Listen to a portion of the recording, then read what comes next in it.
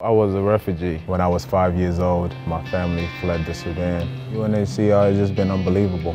All the refugees around the world just giving them an opportunity to pursue a better life. And after I heard the story, you know, nine million, helping them with education, sports, and you know, just better life in general. And that's what I always wanted to do. And every basket I score, you know, I will give $50. Everybody could join in.